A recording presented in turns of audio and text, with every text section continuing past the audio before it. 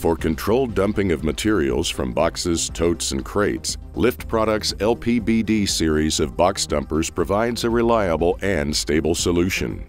Remove excessive lifting and bending in your workflow by utilizing this fully powered hydraulic tote dumper to reduce the risk of injury. The chute can be adjusted to handle container heights of 30 inches to 42 inches with an easily changed restraining bar. Contents dump from the container within one minute, ensuring time and worker efficiency.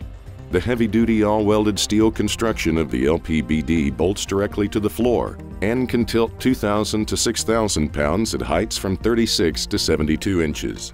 Standard chute sizes are 36 by 36 inches or 48 by 51 inches. Custom chute sizes and dump heights are available.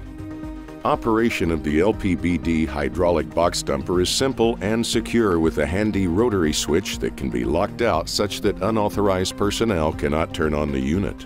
Containers can be quickly loaded into and out of the structurally reinforced chute by use of a common pallet jack, freeing up valuable fork truck resources.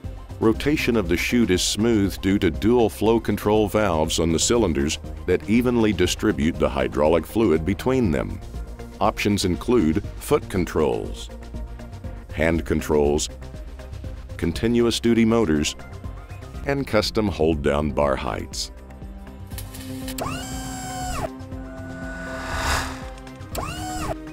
For more information, please call us within the U.S. at 877-543-8776, internationally at 262-521-5720 or visit our website at liftproducts.com.